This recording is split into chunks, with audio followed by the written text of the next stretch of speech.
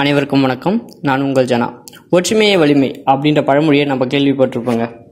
எல்லாரும் சேர்ந்து ஒன்றா உழைச்சா வெற்றி நிச்சயம். இதுதாங்க அதோட அர்த்தம். இதை ஏன் நான் இப்போ சொல்கிறேன் அப்படின்னா கொரோனா வைரஸ்லேருந்து இன்னும் மீண்டு வராத நம்ம நாட்டில் புதுசாக ஒரு பிரச்சனை வந்திருக்குங்க. அது என்னென்னா வட மாநிலங்களை நாசம் பண்ணிக்கிட்டு வர வெட்டிக்கிளியில் தாங்க ஆமாங்க இன்றைக்கி நம்ம பேச போகிறது லோக்கட்ஸ் பாம்பை பற்றி தான் இந்த வெட்டுக்கிளிகள் ஒரு தனிமை விரும்பிகள் எப்பயுமே தனியாக தான் சுத்தமாக இது எப்போ ஒன்றா சேரும் அப்படின்னா இனப்பெருக்கத்துக்காக மட்டும்தான் ஒன்று சேருதாங்க. இது மனதுகளிலும் பாலைவனங்களிலும் வாழக்கூடியதாங்க வாழக்கூடியதுங்க.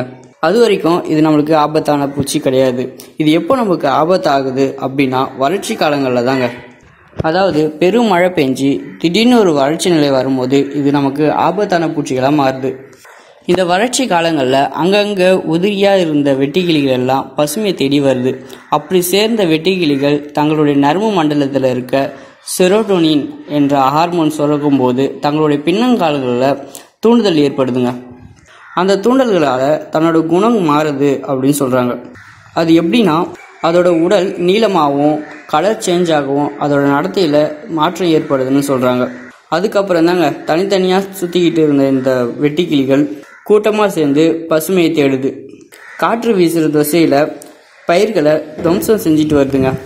இந்த ஆண்டு ஆப்பிரிக்காவில் பெஞ்ச பெரும் மழையின் காரணமாகவும் அதை தொடர்ந்து ஏற்பட்ட வறட்சியின் காரணமாகவும் இந்த லோக்கட் ஸ்வாம் உருவாகியிருக்கு.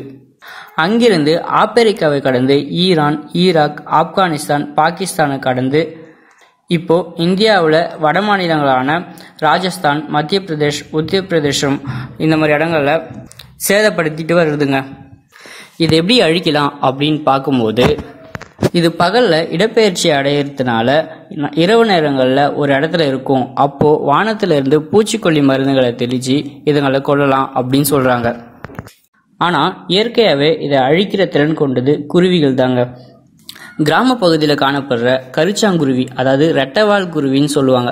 அந்த குருவிகள் தான் இந்த அதிகமாக சாப்பிடுமா.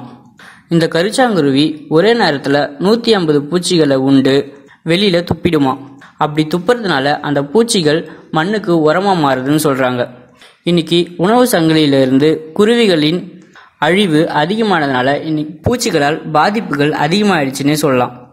ஸோ இதனால் நம்ம சேனல் என்ன சொல்ல வரோம் அப்படின்னா பசுமையும் இயற்கையும் காக்க வேண்டியது நம்மளோட கடமை அப்படின்னு சொல்லி இந்த பதிவை இன்னையோட நிறைவு செய்கிறேன். நன்றி வணக்கம்.